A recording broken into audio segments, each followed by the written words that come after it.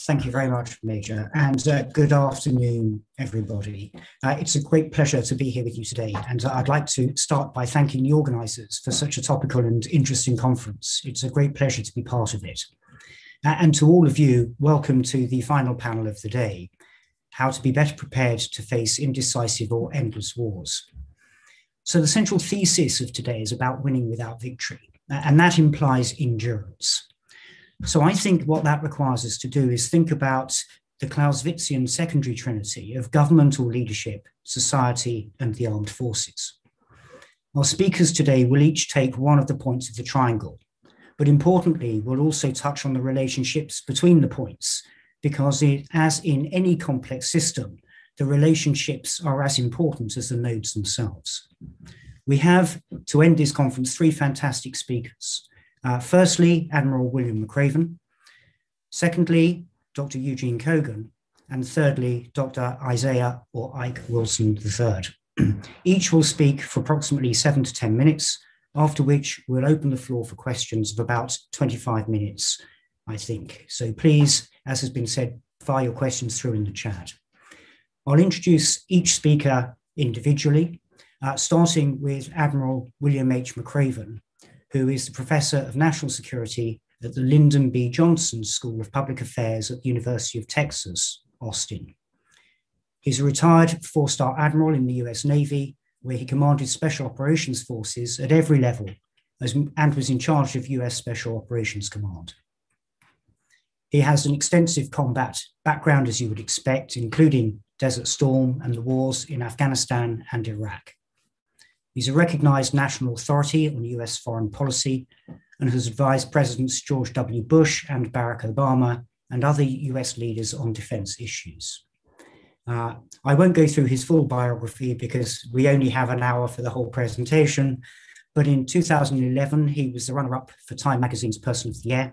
In 2012, Foreign Policy magazine, including him, him in its top 100 global thinkers, and in 2014, Politico magazine listed him on the Politico, um, Politico 50.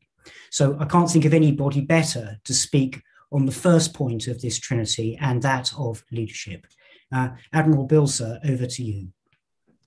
Hey, thank you very much, Paul. Uh, it is great to be with all of y'all today. So thanks for uh, extending the invitation to me. I, I, love to do these sort of panels and uh, certainly with these remarkable panelists that are joining us today. So uh, when I talked to Paul earlier, I said I, I, wanted to kind of take a little bit of the contrarian view to start with and, and, challenge the assumption that this idea of decisive victory is not inevitable. And I might turn that around and say that you know endless wars uh, are not inevitable. But I think there are kind of three components to dealing with this to ensure that we don't find ourselves in these endless wars. Uh, and and they are there's nothing rocket science about them. The fact of the matter is, first and foremost, you have to have a clear strategy. But I'm going to talk a little bit more in detail about that because I think we've we've made some fundamental mistakes uh, over the last certainly in the last 20 or so years. You have to have strong leadership. And then the other part of this, and certainly as we see it from the United States, and I think it probably applies in militaries uh, everywhere, is the public has to be invested in the war, not just interested in the war, but invested in the war. So let me kind of take those and, and break them apart uh, quickly here. So, uh, you know, I, I do want to uh, quote Clausewitz. I think every military leader needs to start off with a quote from Clausewitz. And this is probably more a paraphrase than a quote. But in his book on war, he said, Everything in war is easy. It's just the easy things are difficult. Everything in war is easy. It's just the easy things are difficult. I was telling the story the other day when I was uh, a three star admiral in, in Afghanistan. I was heading from the United States back to Afghanistan. And this was 2009. And I was reading some uh, kind of foreign policy magazine, and there were two articles by uh, a couple of very prominent uh, PhDs, East Coast Ivy League PhDs. And this was the time when we had changed, we had begun to surge into Afghanistan. And so these PhDs were providing us uh, their wisdom on what the military needed to do. And frankly, their wisdom was a little bit condescending, but you know, I was reading the articles and they said, and both of them independently said, you know, the military just doesn't get it if they would only build roads in Afghanistan, they could win this war because the roads could connect, you know, the villages to the district, the district to the province, the province, you know, to the central government. If they could only build roads, well, no shit. Why didn't we think about that? Well, the answer is we did think about that. It's just when, when people are shooting at you and trying to blow you up, it's a little hard to build roads. Everything in war is easy. It's just the easy things are difficult. So it is easy to sit here and say you need a strategy, you need a strong leader, the people need to be invested. It's just hard to do. But I would offer if you go back in the, at least the late 20th century for the United States and you look at how we confronted a number of the issues, you know, Grenada, Panama, Kosovo, Bosnia, and then Desert Storm. I mean, those were uh, those were kind of the, the, the sort of wars that had a short-lived time frame because we had very very clear strategies on how we were going to approach them. We had an exit strategy, we had an entrance strategy, and we had an exit strategy. But I will also offer that you know if war is this extension of policy or politics, as Clausewitz says, then you've got to start off with a very clear and thoughtful objectives. And I would offer you have to do this at all levels of warfare. So it's not just about having a grand strategy or strategy. You better think about the strategic, the operational, and the tactical, or you're going to get yourself in a lot of problems. Uh, and I would offer Afghanistan as a little bit of an example of that. You know, as we went into Afghanistan, of course, our objective was really to ensure that Afghanistan was not a safe haven for Al Qaeda. Uh, and I and those were, you know, that was a pretty clear objective at the kind of the strategic level. We don't want Afghanistan to be a safe haven for Al Qaeda. But if we had thought through that down to the tactical level and realized that in order for Afghanistan not to be a safe haven for Al Qaeda, that meant that we were going to have to own every piece of terrain. And in owning every piece of terrain, we were going to have to engage in a war with the Taliban. And so while the while the overarching objectives were honorable and noble and the right thing to do, you know, we may not have thought all the way through it. And as a result, we go in, we obviously, you know, kick the Taliban out of power, we put Karzai in, and then all of a sudden we find ourselves entrenched in this kind of endless war because frankly we had mission creep. Uh, we allowed ourselves to be trapped into the broader issue of ridding the Taliban because we didn't, I would offer, we probably didn't think far enough uh, ahead in terms of the tactical aspects of what was going to be required in order to achieve the strategic goals. So again, you have to kind of think through this at, at all those levels. Um, next, you have to have strong leadership, and, and that that sounds intuitive. Of course, you want strong leadership, but when I think of strong leadership at the at the political level, it is best to have somebody that you hope is experienced, that is educated, that is thoughtful, that listens to the counsel of the generals and the admirals and the other political leaders that understands the history and the culture and grasps the limits of power of the US or any other country and that is careful about the hubris. You know, all of us uh, th- that have been part of countries where you are the great superpower, you have this sense that we can go and do anything. And the fact of the matter is, history clearly shows that is not the case. And then, as a great leader, you've got to be able to confront the kind of slings and arrows that are going to come your way. You're going to have to be able to confront the criticism. And the best example I've seen in, in modern times of that actually is, uh, is George Herbert Walker Bush for Desert Storm. So you think about President Bush at the time, exceptionally experienced. He had been uh, not only the vice president, he had been the director of the CIA, he had been, been the ambassador to China. Uh, so he was, he was experienced, he was highly educated at Yale uh, a very thoughtful guy. He listened to the counsel of both General Schwarzkopf and General Powell. He understood the, the culture and the history of the region. A, a guy that didn't have a particularly big ego. Uh, but then the, the thing that I think was most important was, as you may recall, as we went into, again, the objectives were clear. We wanted to get Saddam Hussein and the Iraqis out of Kuwait. The objective was not to overthrow Saddam Hussein. And as you recall, there was a lot of criticism at the end of the, at the end of this 100-day war. Well, why didn't you just march to Baghdad? Well, I would offer that a lot of leaders would have uh, have have have gone on, felt that pressure, and decided to march to Baghdad. But Bush had very clear objectives. Look, we're here to uh, exercise a UN resolution, get the Iraqis out of um, out of Kuwait. That is our objective. We'll get that done, and I'm not going to be pressured into mission creep because had he gone on to try to push uh, Saddam out, we may have found ourselves in the same position we were in post 9 11. So strong leadership is important. And then finally, this idea that the public has to be invested. Uh, you know, we in the United States, of course, have not had a draft uh, since the uh, the mid 70s, um, and as a result, what you find is you know less than one percent of the American population is in the military. And while the American people in particular have been very, very supportive of the military, and certainly after 9 11, uh, you know, the, the American public just embraced the military in a way that I hadn't seen in, in all the years I served in uniform. But uh, for most of the Americans, they didn't have somebody that was invested in the war. Um, you know, the, uh, the, the elite of America, most of their children didn't go fight in Iraq and Afghanistan. So the reason I think we had this endless war was because American boys and girls were over there fighting, but back in the United States, we were still concerned about the Super Bowl and we were concerned about, you know, uh, the day-to-day activity. Nothing wrong with that necessarily, but when the war overseas does not affect you domestically in a way that really gets to your heart, um, and again, I don't want to imply that the American people uh, weren't uh, conscious of the losses. They were, but as a nation, they weren't fully invested, and that allowed us to, I think, continue on in a war that kind of turned it almost into this this endless fight. So once again, you know, everything in war is easy. It's just the easy things are difficult. Uh, it is easy to stand up here and to say that we need a clear strategy, we need strong leaders, uh, and, and, we need to in, have the people invested in the war. It's just hard to do.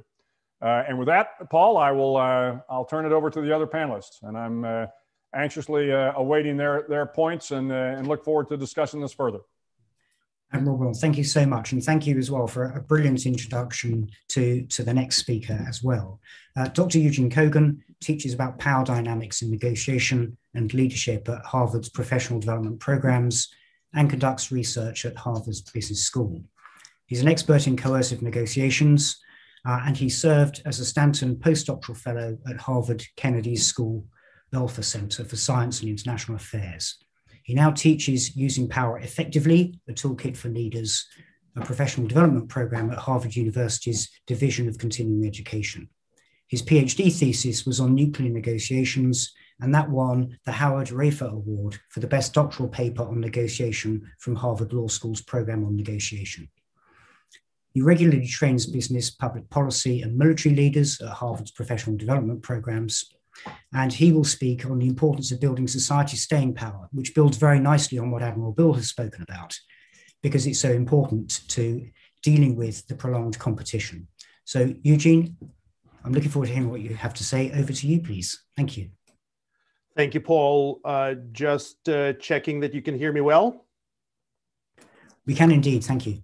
All right, excellent. Well, I am uh, delighted to be here. I uh, thank the organizers for inviting me. It's such a privilege to be on the same panel with Admiral Bill McRaven and uh, General Ike Wilson. Um, uh, I uh, I appreciate Paul your your generous introduction. Since Admiral McRaven teaches at the LBJ School, I can't help but mention the reaction that LBJ once had, Lyndon Baines Johnson once had to a very nice introduction that he received. He said, and this is the same reaction I'm having to your generous introduction. LBJ said, You know, I wish my parents were here to hear this.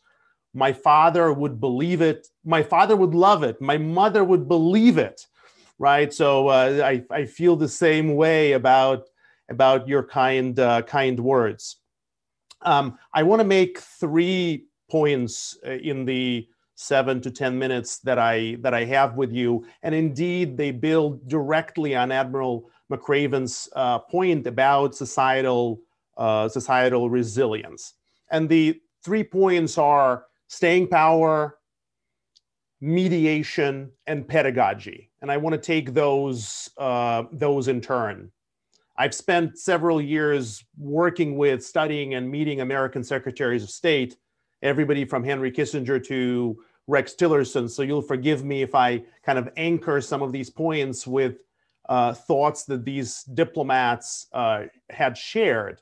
And the first one about staying power comes directly from Henry Kissinger, right? Who, of course, writing about the Vietnam War, was talking about how staying power, in addition to military power, cyber power, economic power, he said staying power by the society is what really matters, right? Because if, as Admiral McRaven says, if and, and as Professor Heuser said at the beginning of the of the conference today, if the public is not invested in whatever the military, foreign, diplomatic policy you have executing abroad, your policy will not uh, uh, come to a successful outcome, whether discrete or non-discrete, whether it is uh, victory or or some kind of just intermediate successful outcome. You've got to have the investment by the society. And I want to point out in the next two points two obstacles and two potential solutions uh, to the um, this societal cohesion and societal resilience. And the two obstacles are really polarization, and I am speak I'll be speaking heavily from the American uh, context here. And the second obstacle is the, if you will, the superficialness, if that's a word, and if it's not, I just coined it, the superficialness of a large part, and I don't want to be dismissive of the American population in any way, but a large number of people have a very superficial understanding of the real sophisticated nature either of war or of foreign policy or of diplomatic policy. So let me tackle those issues in turn. I need not say a lot about the level of polarization in American society, and I would venture to say in the world today. We live in a very in a world of disruption. We live, and I, I probably would not be overstating it if I said we live in an age of rage. And this becomes a huge problem in at least in the American context as I see it. And I would certainly welcome your your questions, corrections, and comments on this. I think it becomes a huge problem when you're trying to mobilize a country for essentially an indefinite engagement, uh, whether it's against COVID or it's against a hybrid warfare waged by um, states uh, such as Russia and China, um, or it's the space race, or it's the, the threat of climate change. It becomes a huge problem when you have disagreements in the society that become heated and unbridgeable and intractable. And a lot of times that's what we're seeing in American society today. And the answer to that, and here Clausewitz comes perfect because that's the play in the subtitle of my new upcoming co authored book on mediation, which is called Mediation Negotiation by Other Moves, which is a play, obviously, on Clausewitz politics as, uh, you know, war as politics by other means. I think the answer to polarization is mediation. And we need leaders, and this is a, a, another one of those easy but difficult, easy to say but difficult to execute calls. We need leaders, civilian, military, business, who are willing to bring people together and facilitate conversations. This is very easy to say, and that's all I'm going to leave it as at this point in the interests of time, but I'd be more than happy to talk more about how that might be done in the in the Q&A. So one problem to staying power is polarization, and the answer for that I would argue is mediation. The second problem that I pointed out and I will conclude on on this point the second problem is the, as I called it, the superficialness of a lot of the public, at least in the United States, at least as I observe it, of their understanding of what war really means, of what diplomacy really means. I just give you two quotes that stood out to me very strongly. One is by Major General Bill Rapp, former commandant at the West Point and uh, U.S. Army War College, and currently at Harvard Kennedy School. And he wrote several years ago As a society, Americans are intrigued by the lure of precise, discriminate military weaponry, and dismayed when such expensive tools fail to achieve lasting results.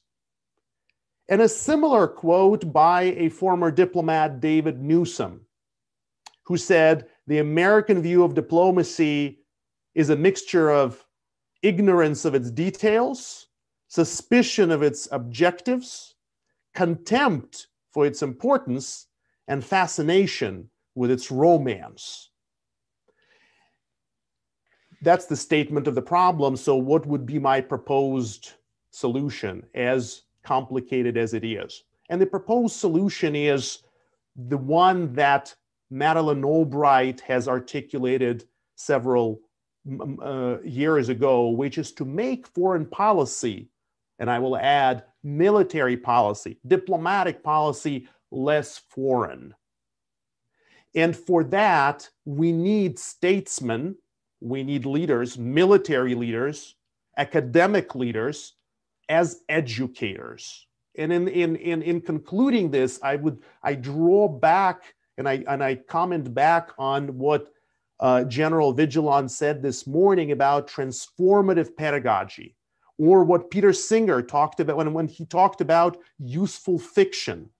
I think we need to rethink how we talk to the public, we all, all of us, academic leaders, military leaders included, how we talk to the public. And maybe, and the, though this is highly provocative thought, I am sure, maybe Twitter is not the most effective way to communicate the nuanced complexity of war, whether it's again with discrete uh, outcome or not. So those are some, some thoughts on the challenge of achieving staying power and tackling polarization with mediation and tackling the superficial understanding of war with statesmen and leaders being educators. I'd welcome your comments and thank you so much for having me here today again.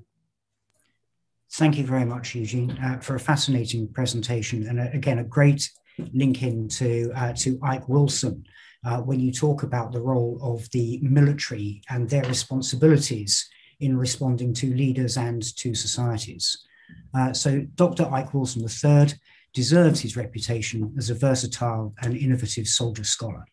He's a decorated combat veteran with multiple combat tours in Iraq and Afghanistan and extensive experience across the greater Middle East.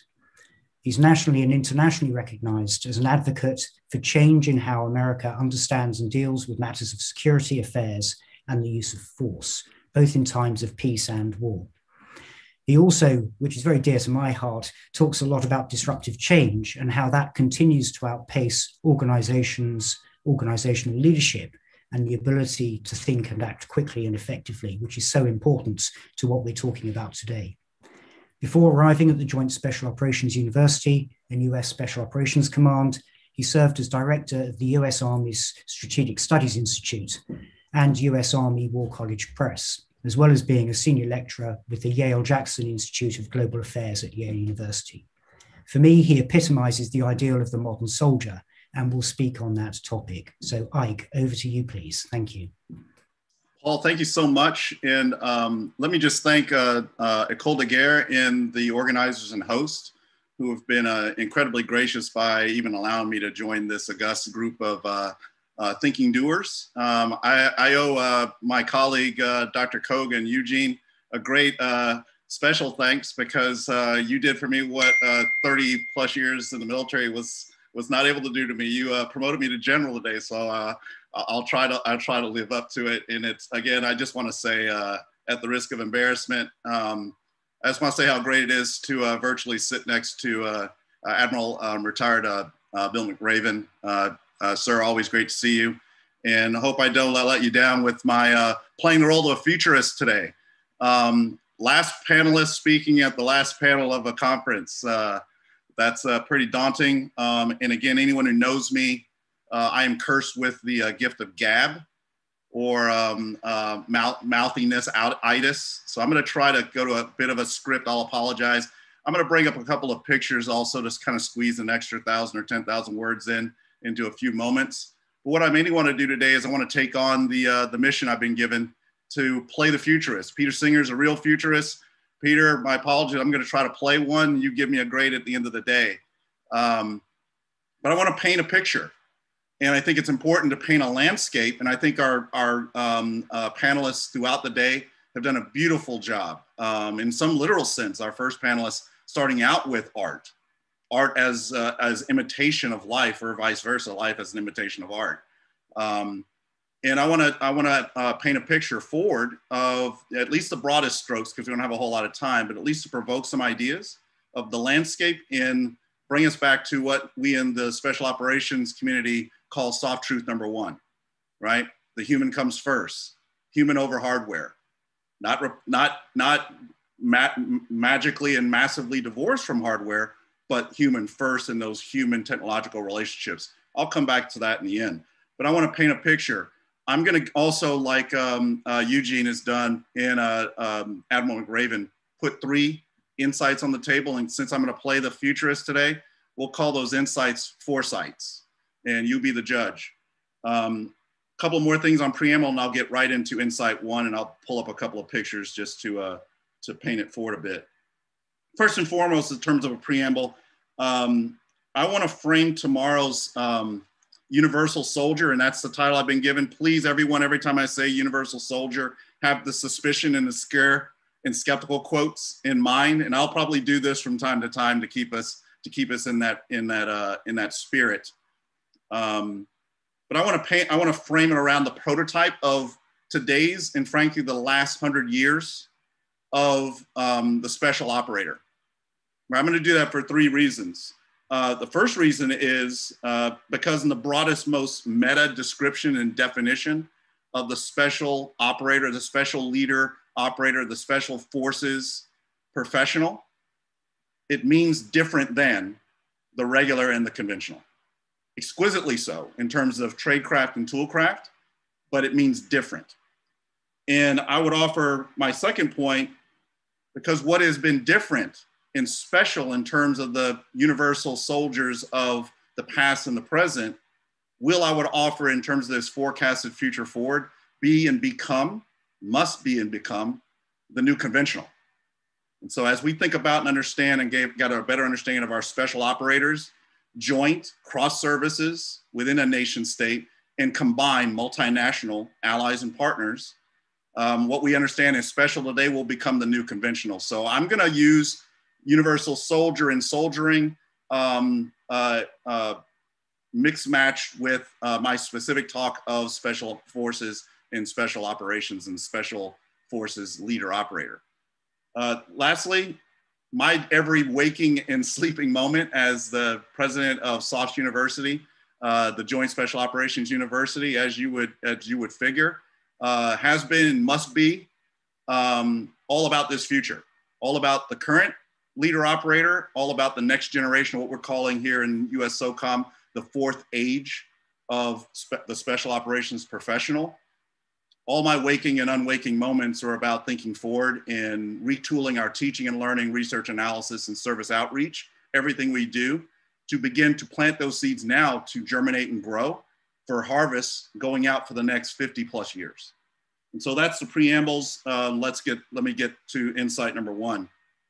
Insight number one, a changed and changing landscape must be appreciated first and foremost, and it's essential for getting the future portrait and prof profile of this universal soldier, getting it accurate. Let me um, fumble here for one second and see if I can pull up a slide, just to give you a picture.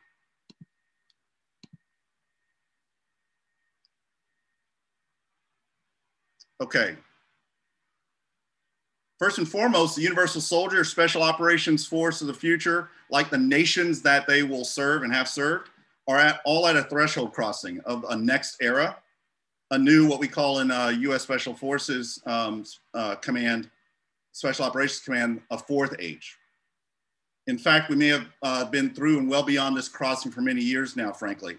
This new fourth age or next generation is one of compound security threats. You've heard many of those put forward today a polycentristic reality of security and defense that transcends the traditional understandings of what constitutes the jurisdictional boundaries of security and defense, military, non military, et cetera, et cetera. The future soldier, the universal soldier of the future will not necessarily be a universal warrior diplomat, a warrior developer, and a warrior defender and guardian when we bring in the space realm. Um, able to be and do polycentric things, right? To deal in a polycentric world.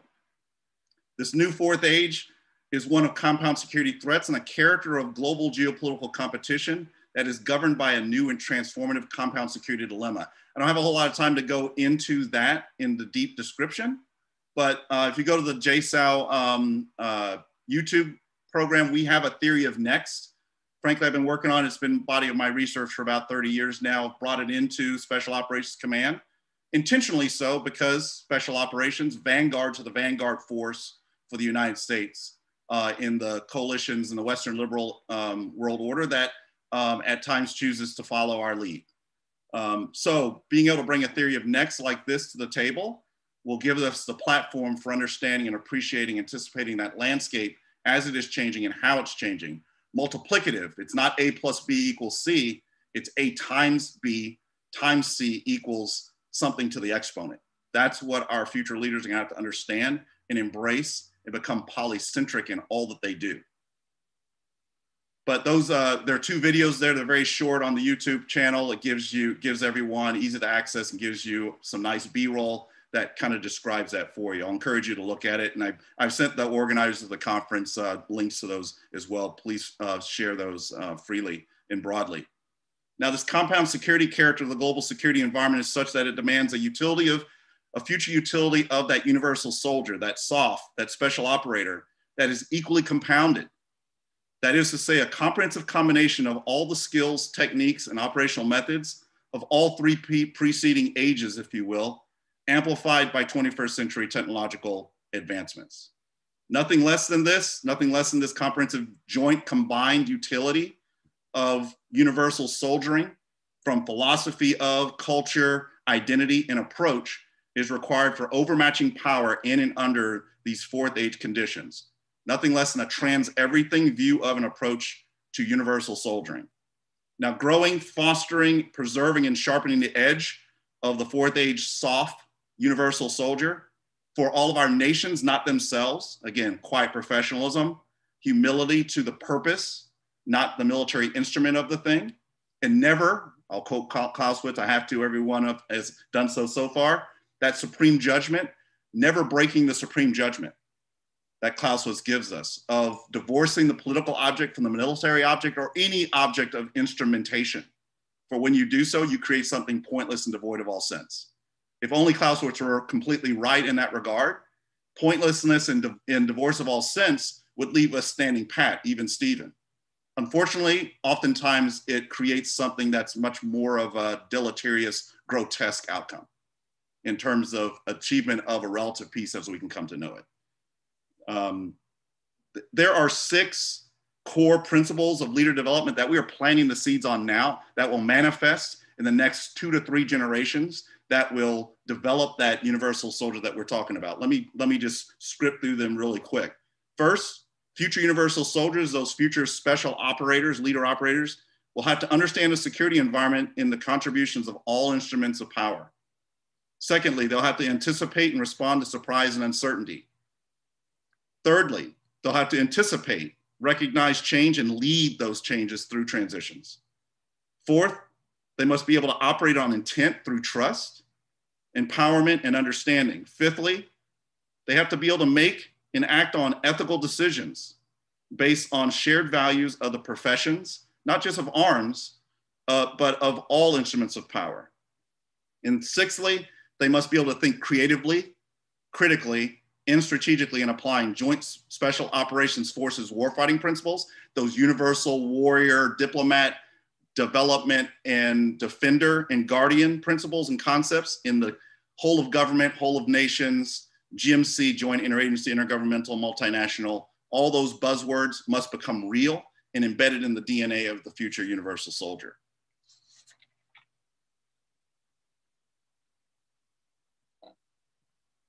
Let's see if I can get one more. Okay, good. Now, the new realities of today and tomorrow's compound security dilemma govern global security environment will demand nothing less than this universal soldier. that while retaining some of the core essence of the traditional soldier and soldiering uh, that we've come to know and, um, and have been in our enduring, they must vitally be able to transcend at the same time those traditions, break those con- continuation and continuity biases embedded within those notions of what constitutes a soldier and the, and the other than or non-soldier, and to become that, again, that universal warrior in a very polycentric way, capable of producing the sorts of compound applications of what I'll call integrative statecraft that are necessary to overmatch the perils of compound security threats, some of which you see intimated on the slide in front of you, and more importantly, to effectively shape a better relative peace for all as we can come to know it, as Clausewitz said. Foresight number two, history is illustrative. It can also illuminate, but it does not repeat, however we do. And especially when we do not recognize and heed its lessons, lessons for our futures. A back to the future point of view and approach is essential to understanding and creating and fostering this universal soldier. Now, despite the narrow focus on counterterrorism and counterinsurgency over the past 20 years that we've all faced, all of our nationhoods have faced, um, US led combined joint special operations forces have offered policymakers uh, across our coalition certainly what proved the sine qua non of America's and our coalition's fighting edge during the decades of counterterrorism and counterinsurgency, those last 20 years. Pinpoint focused on direct action raiding, but not solely on direct action raiding. SOF expands the range of military operations, both in quality and capability, and operational strategic utility of employment to enable other instruments of statecraft to succeed. That special operations unique contribution is going to be conventional, necessarily conventional in the future universal soldier. Again, remember those scare quotes. Throughout the Cold War, again, a back to the future perspective real briefly, this soft, this SOF full range of operational capacity offered nations like ours the ability to win without fighting, not to have to resort to armed conflict while always being prepared to do so. The ways, the way and means of filling George Kennan's prescription of an active containment based national and grand strategy. Special operations forces have always done this, not just in the lower ends of a range or continuum or spectrum of peace and warfare, but continuously throughout. But importantly, at those spaces in between, those transition points between co cooperation and competition, between competition and the threshold of armed conflict, keeping things below the arm, the threshold of armed classic armed conflict as much as and as long as possible, but always being prepared to be unbeatable and overmatching if and when wars come. In this new fourth age, geography has returned with a vengeance, vengeance as a governing dynamic of international relations, and positional advantage is once again a determinant factor of this new compound security world order and disorder. I can have another piece to show you here for that. Now, why is that so? Because geostrategy is an essential element of the disruptors playbooks that we face today. Name in will pinpoint China and Russia in that regard, but not solely China and Russia. And more pointedly to China's expansion globally as they seek to couple targeted control and access to key geostrategic locations to outmaneuver and hold at risk all of our nations, the Western liberal international community of democracy specifically, all, all of, our, um, of our nation's interests, regionally and globally, holding them at risk. Adversaries and competitors are now pursuing positional advantage through their strategies of action globally. These notions of old mercantilism, now I'd call it new, uh, neo-mercantilism of the 21st century. That will be the world disorder going forward. Beggar thy neighbor, increased transactional approaches to applications of force for some suspicious power purposes. And a disruption of the standing international order that is that is stood um, in order, relatively speaking, since 1945, in some elements of its progeny uh, or its uh, ancestry going all the way back to the Treaty of Westphalia in 1648. All that being under what I might call a globalizing insurgency against the principles and norms, the rules and decision-making procedures of that Western liberal, small west, small l, uh, international relative order. Competitors and adversaries like China are using, are looking in, uh, to uh, futures uh, harkening back to past and um, uh, to past geostrategic thinkers uh, and strategists like Mackinder, Alfred Thayer Mahan, and others, and contemporizing their strategies as spheres of influence, by way of trans-regional and global spanning updates and applications of concepts like heartland, rimland. Uh, tomorrow's victories and losses will play out at what George Kennan called the strong points. Now, those strong points are certainly going to be those same historical geographic places, but they're going to be those nexes where ge geography and geostrategy comes into collision with human security at those root cause levels, that those underlying current levels, as Noel boss of mine coined the phrase of, um, in ideational, in the ideational realm, right? Tomorrow's universal soldier, like today's and the past special operator, must become native to these nexes locations and these nexes, these spaces in between. SOF has always lived in such places and spaces. Foresight three, and, i am close to concluding here. The portrait of the future universal soldier must be beyond war and be capable of thinking beyond war and foresighting the peace as we can come to know it.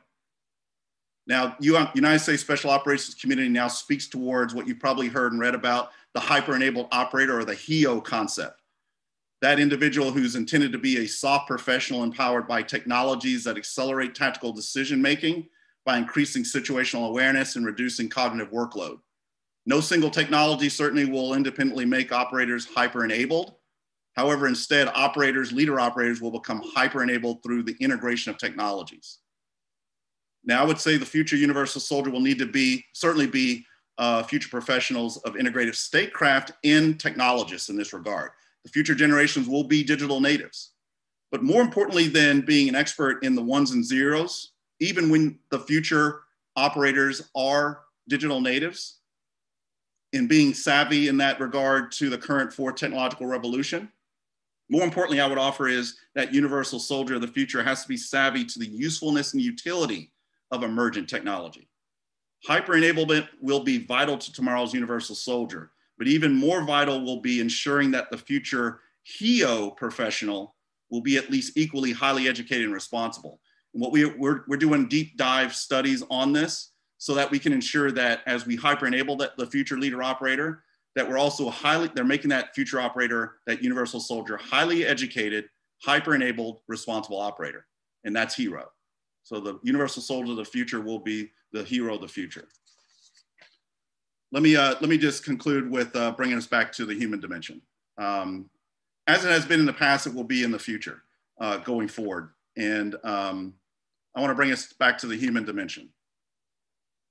The fidelity or trust bond of the, of the professional, the universal soldier of the future, that universal warrior, diplomat, defender, guardian, and developer um, the fidelity or trust bond of those individuals to their national publics and to their nationals, nation's vital interests, including commitments to their allies and partners, has always found its strongest roots in the rich soils of those nationhoods' histories, and for our, for, from, for our sake, American history. Examples set by leaders from uh, America's uh, General George Washington, frankly, Admiral Bill McRaven, reinforce the principle of subordination of the practitioner, and particularly the military practitioner, to civilian authority, to the peace objective, and through that authority to the security and defense of their nationhoods. Today's and tomorrow's compound security dilemmas demand a restriking of that critical balance of fidelity with the general wills of the societies that we hail from, serve, and repatriate back to after we leave the uniform. Between special operations forces, exquisitely specialized warfighting acumen, and the nations that they serve, their core values. As it was and has always been, so it shall continue to be. And with that, uh, thank you again, probably for the extra time I stole. Um, and I look forward to uh, questions, commentary, and future continuing relationships. Thank you very much. Mike, thank you very much for that. And, and a, a tour de force, not just in the context of the military, but bringing us I was going to say full circle, but that's very difficult when we're talking about a triangle. But uh, you know what I mean. We come back to the, the start point.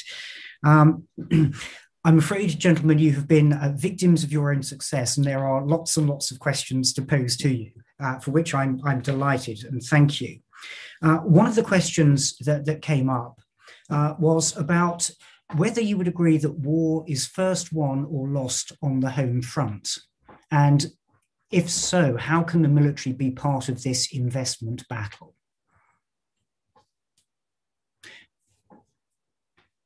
Uh, Admiral Bill, would you like to come yeah. in first? Yeah, thanks, Paul. Happy to answer that. You know, I think it's uh, that, that, may be a little bit of an oversimplification.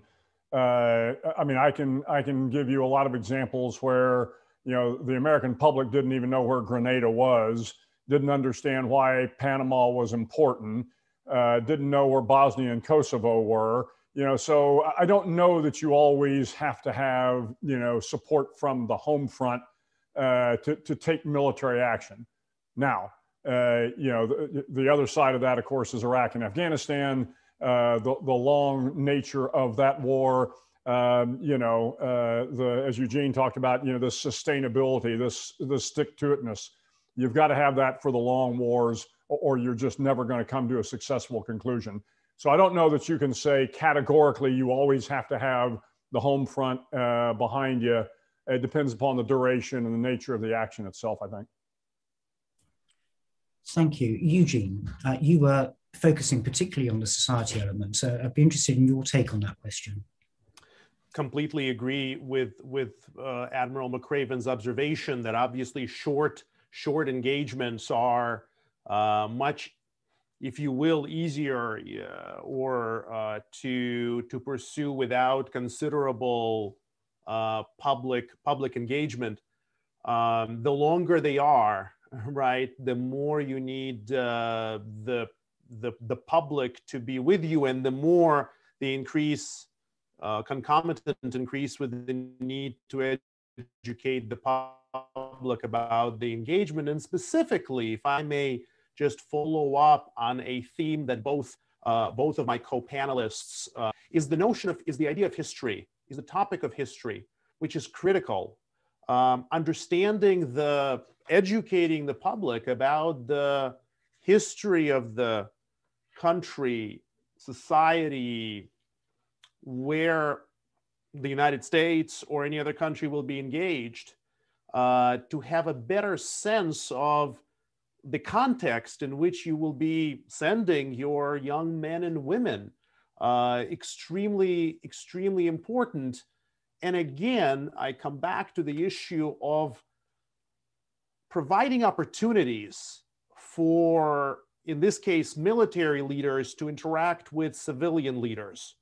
At Harvard, we have been very fortunate under General Rapp, uh, Bill Rapp's leadership to, on a yearly basis, have for civilian, uh, civilian academics like myself to study alongside uh, with and to learn from military leaders lieutenant colonels, colonels, generals who come to study in our executive programs, from whom we learn a lot and who very graciously humble us with, with telling us that, that they've learned something from us. So I, I would again call for, encourage, praise the, the idea uh, that, you know, getting, providing opportunities for the military and the civilians to mingle, if you will, and to learn from one another can really help us um, enhance this, this type of societal coherence and, and sophisticated understanding of the military policy that Thank you. And I understand the points that you're you're both mentioning in the context of the deployment of military forces where there is a, a, decisive activity to be undertaken. I wondered the broader sense of where we have this idea of persistent competition. We see adversaries who are trying to undermine us domestically. Uh, I wonder your thoughts on the societal resilience element in that. And I think, Eugene, it probably plays to your point about polarization, which, of course, is something that we know adversaries are exploiting in our societies today. Um, but Ike, did you want to come in on, on this particular question? I'll just, uh, since I stole so much time, extra time in my presentation, I'll keep it very brief. Let me say provocatively, but um, not just to be quippish, I, I truly believe this. I unfortunately, I unfortunately have to agree with my, my two uh, colleagues in uh, the answer to the, the, the basic answer to the question of no, not in all cases is it required. Uh, we have we're replete with examples And as the world turns, you know, in hindsight being tw- better than 2020, thankfully so, uh, that um, with simple authorizations to use military force, uh, we can actually achieve um, great, uh, I would importantly put the caveat on tactical to grand tactical, low operational successes, battle to battle. I mean, I'm, I'm I, I have uh, uh, Dr. Um, Hoser, Huser uh, in the first presentation today really ringing in my ears. Um, really a, a, a, subtle, not so subtle um, caution that uh, harkens back to that Klaus Clausewitzian grand uh, warning of be careful just because you can, maybe you should not. And on that piece, I'll go a little bit more normative and conclude with this why I say I unfortunately uh, have to agree. Normatively, um, and especially true for the American constitutional republic, and I would say um, democracies writ large, and the community of democracies, it's important to declare things. And as much as possible, um, to be able to anticipate and foresight and know your interests unilaterally and more importantly, multilaterally as we look forward in these futures of compounded uh, opportunities and threats that have to be uh, uh, dealt with. The power equation from a unilateral sense does not equate under those con con conditions. So the idea of force even has to be much more ecumenical in now this idea of by, with, and through allies and partners, not a nice to have, an essential thing if you want to achieve quote unquote victory. I think part of that in terms of the domestic realm that shapes policy of all types, particularly international relations and foreign policy, is important for democracies as, as at any given tactical moment, as restraining as it may feel, in contrast, comparison with our, our more authoritarian um, adversaries who seem to be unshackled from these pesky things like laws and rules and norms, and we the people governing and regulating authorities over our uses of, and utility of any type of force. Uh, we need to go back to our constitutions, small c and large c, and understand that the war power is we the people. We intentionally uh, have a single power that is separated through, shared through separate institutions, checks upon checks. And the last time from a US standpoint, we've had over 287, I believe, uses of military force interventions since the last formally declared war. And that was World War II from the US sense. For the last 15 years, we've operated under a authorization to use military force prescribed initially and pointedly for the Iraq War um, we're still operating off of that. Um, that really stretches the fabric and really stretches that thing that I talked about at the end of my comments of the fidelity or trust bond between the governed and, and the governors. Um, I, would, I would leave it at that. Um, Thank you, Mike. Um, we've had a number of questions that have picked up on the question, uh, Eugene, as you put it, as, as pedagogy, but it's about education. Uh, there, there's a question here uh, for you, Eugene, that says tackling a superficialness with education. How would you approach this equitably when much of the issue is rooted in structural inequality?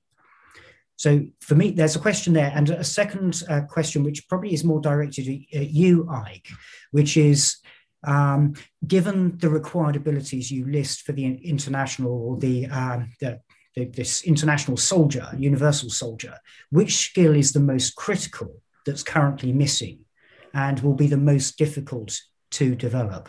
So, Eugene and Admiral Bill, if you'd like to take the first one about, you know, how do we grow the kind of leader that you're talking about? How do we address inequ- structural inequality that may alienate parts of society? And Ike, if you can pick up on that last one about what's missing skill wise from the universal soldier. Thank you.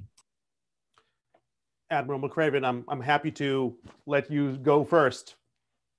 No, by all means, Eugene, over to you. Um, the structural inequality, I, I'd come back to my, to my uh, key argument about mediation. Uh, and, the, and the argument is very simple. You have to have a space where safely, safely, controversial, heated disagreements controversial ideas and heated disagreements can be raised, whether they're structural or they are um, or they're not.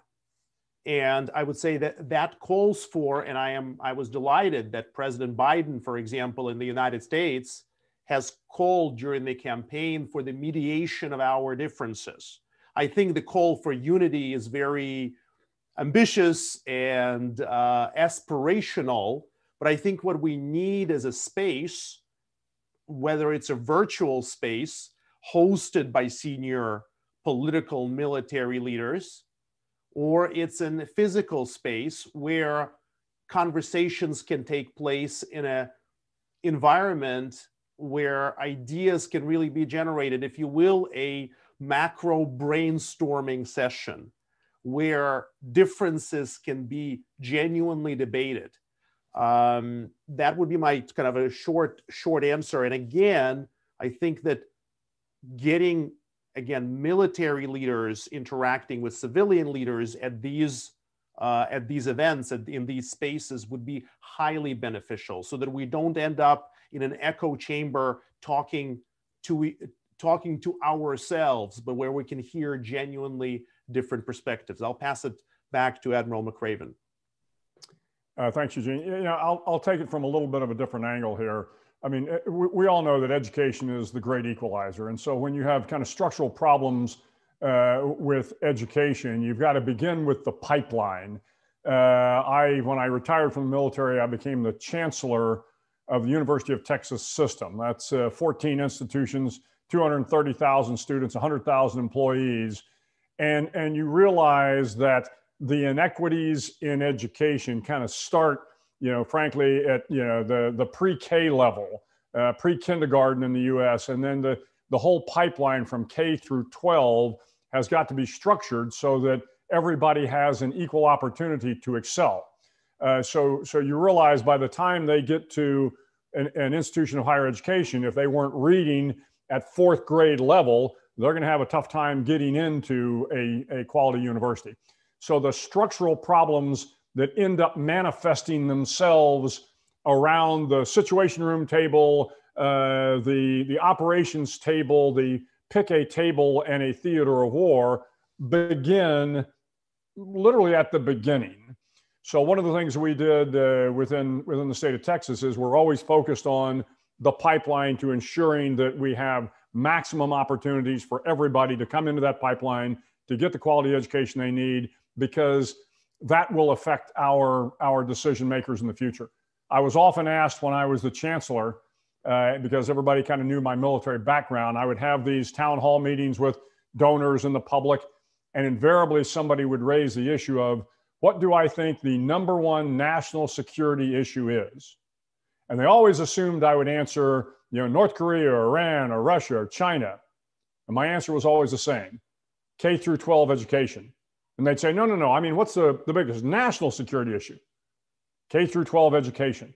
I said, because if we are not educating the young men and women today to think critically, to have the STEM skills, the science and the technician, the uh, technical and the math skills to do the job, if we are not teaching them about other cultures, and, and if we're not teaching them history, then we will not have the leaders we need in national security to be able to make the correct decisions, either, either in the civilian arena or the military arena. So uh, the inequity is there, but it's not something we can solve, you know, by the time it gets to college, by the time it gets to the military. We as a nation, certainly speaking for the United States, we've got to go back at the beginning, make sure the pipeline and the structure is correct there. It will, it will lead to better outcomes. Thank you. And uh, Ike, the question for you was about the skills of the future universal soldier. And uh, if I could be cheeky and squeeze one more in, what role do you think AI will play in the development of that future universal soldier? And I think that will be all we have time for, I'm afraid. Okay, real briefly. Um, lots of lots of things, lots of things to put on the table, but the essential thing I would say, and we're really moving forward in uh, with JSOU uh, uh, University, the uh, Joint Special Operation University, what we call JSOU Next, our change leadership reform agendas, um, to make the university more anticipatory and perspective right? Anticipatory and perspective. And so with that, foresighting, embedding within the future, um, thinking doer, soldier, warrior, scholar, a confidence, a humble confidence in foresighting and anticipating futures. Certainly threats, but equal to those threats, as the Chinese write it in two brushstrokes, right? Um, uh, danger riding on the dangerous or opportunity riding on the dangerous winds, the definition of crisis. is not only looking at troubles, but looking at opportunities to um, pursue an exploit, to put it in the, in the military vernacular. But that foresighting, that strategic and operational foresighting capability, and it sounds very simple, but again, like Clausewitz said, it's very simple, but very difficult in the doing. It requires anticipation that comes from a deep understanding of theory, relevant theory, applied theory, not just theory for the sake of theory, but of applications, and that, that gives and builds a strategic mindedness. A reach deep dive in relevant, relevant history, what I'll call historical mindedness, in getting out of the cerebral in the conceptual, in the theoretical and the historical, and actually going out and being an, an applier. You know, many of our audience are not old enough to probably remember the series, right? But becoming Indiana Joneses, where you are teaching by day in the traditional sense, but you are on, on your off hours, if you will, you're out there in the field doing quote unquote archaeology. Um, I think nothing short of that is required. It's an and, not an or. And so, from relooking our faculty blend, a mix of ac- professors of academic discipline and professors of practice, we are we are um, refreshing the Joint Special Operations University professorate, um, adding to the great body of professors we already have with new, new talent, new skills, polymaths, and those polycentric leaders. Got to get the faculty development right in order to get what uh, Admiral McRaven put on the table, getting the education. Comprehensive joint combined readiness is essential. And the bedrock of that is this kind of education that builds in that anticipatory foresighting capability and capacity. And I'll pause there. Oh, you, I'm sorry, Paul, you'd ask AI.